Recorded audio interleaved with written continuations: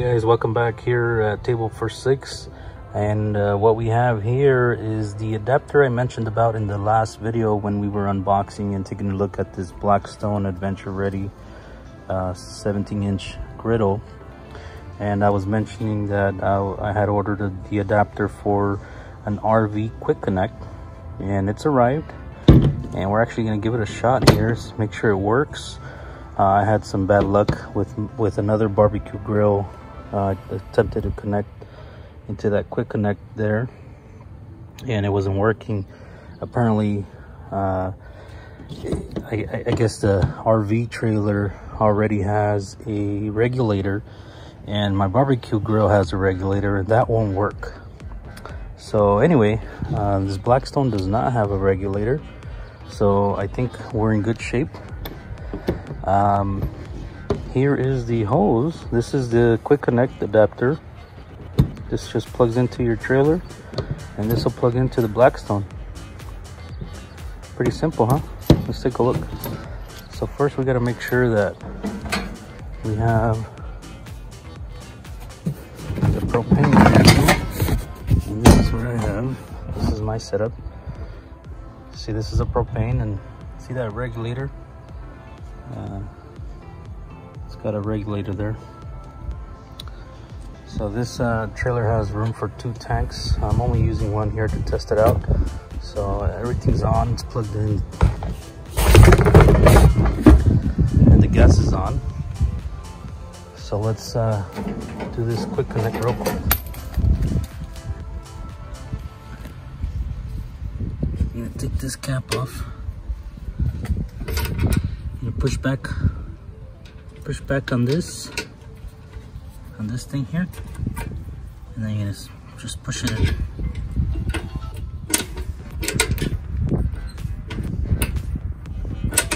Okay I can't do it with one hand here but let's give it another shot here.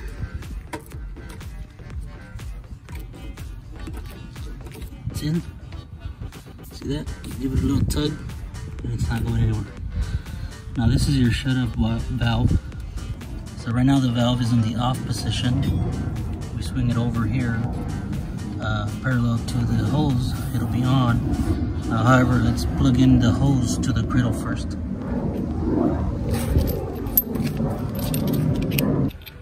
Pull back on this part and sh just shove it in the pin there.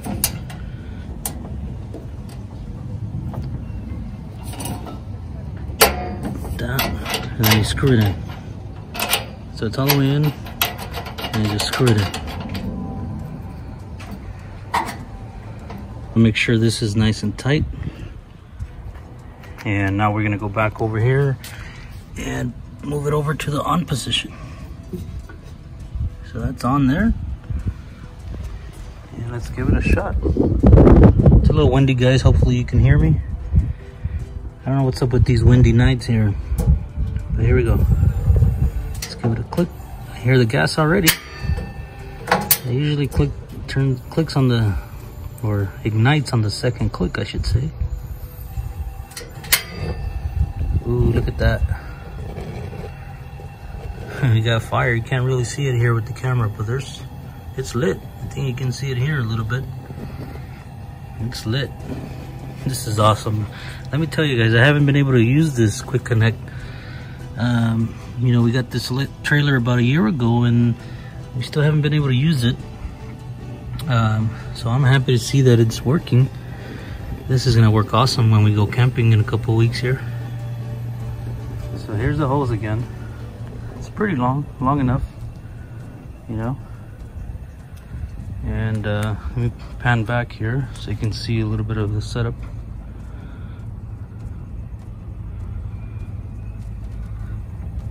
So there you have it. Let's, you know what? Let's try the griddle part of it. Let's try that. I don't know if you can see the flame here, but